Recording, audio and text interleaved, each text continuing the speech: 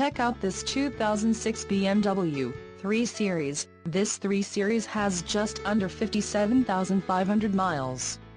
This vehicle gets 20 miles per gallon in the city, and 30 on the highway.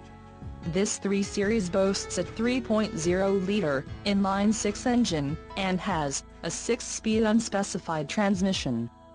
Call 866-462-7124 or email our friendly sales staff today to schedule a test drive.